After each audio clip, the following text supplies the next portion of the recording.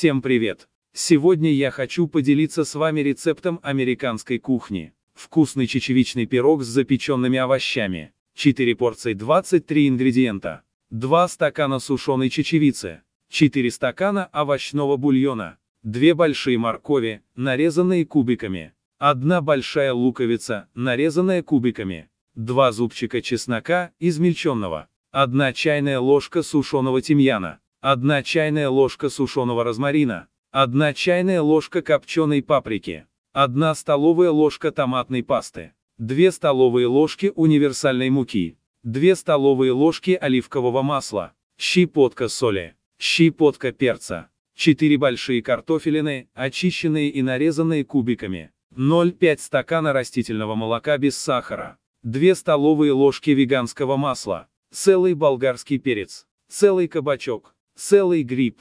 Целый помидор черри. 2 столовые ложки бальзамического уксуса. 2 столовые ложки кленового сиропа. Веточка петрушки свежая. Приятного аппетита!